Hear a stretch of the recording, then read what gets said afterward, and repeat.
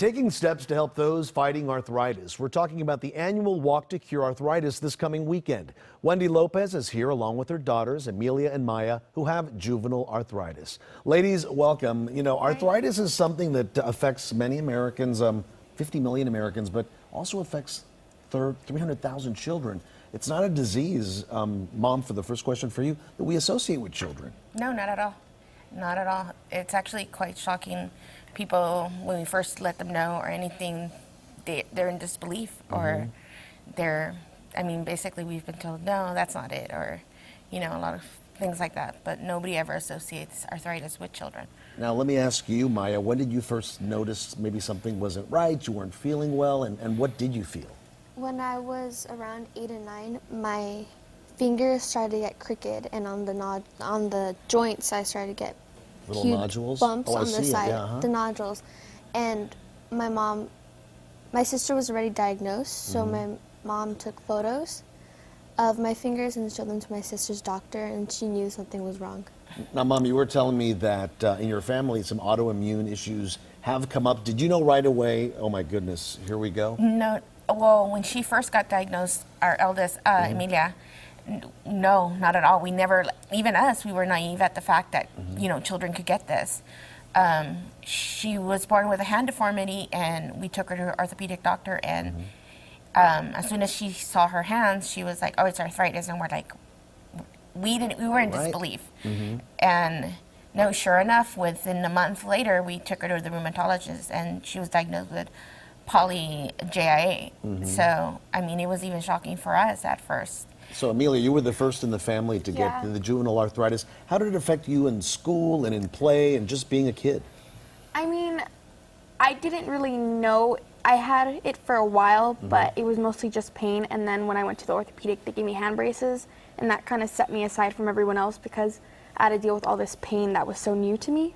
Mm-hmm. So I kind of distanced myself from a lot of activities because it was hard handling all this new pain that I had never handled before. And it's a pain that's constant, right? It just doesn't Chronic. go away. It's, it's a discomfort, right? It's 24 7. 24 7. So, how do you handle it now, the pain and, just dealing with what you, you go through?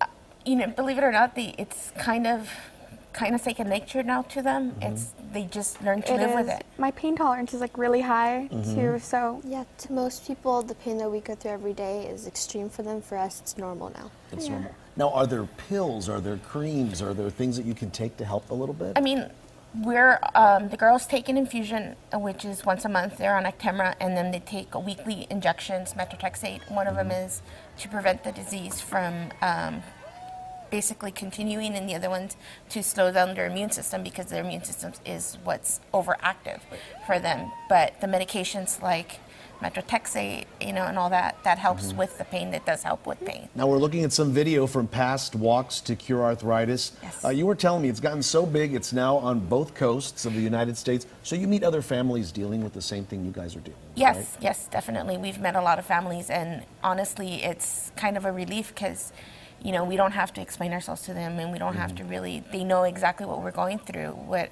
you know, and there's no explaining it. And it's kind of like they've become our family. Mm-hmm. You know, the Arthritis Foundation is amazing for doing so many events with the walks, with, you know, JA days and so many other things and so much support from the foundation. It's, That's they're great. just an amazing foundation for us. And I mean, honestly, it's great. And, and one last, last quick question for Maya and Amelia, real quick. For students, young people who, who may be seeing your hands a little different or you can't do certain things, what would you like them to know? Like if somebody would see someone with juvenile arthritis?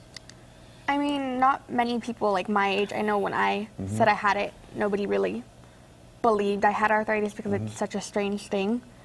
But it is talking about it helps because arthritis isn't something that's normalized with kids. Right. So just talking about it, making people aware. Thank you so much, no, all three you. of you. For more information about the Walk to Cure Arthritis, it's this coming Sunday. Just go to kcal9.com, click Seen on TV. Thank you, ladies. Thank you.